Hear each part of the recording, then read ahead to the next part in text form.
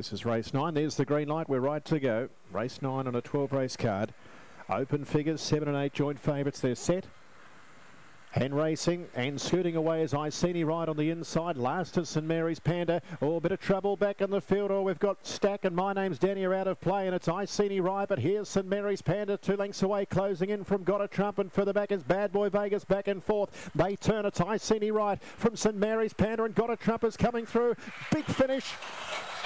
Give it to St Mary's Panda just from Got a Trump and also Iceni right. Then came Bad Boy Vegas and My Name's Danny and Stack both came, they both got into bother mid-race. 21.84, officially a photo finish, but uh, the eight be desperately unlucky not to get that photo. Eight gets it. St Mary's Panda probably wins it by a neck in the end or around that uh, over Got a Trump and also Iceni Right. Bit of a shame actually that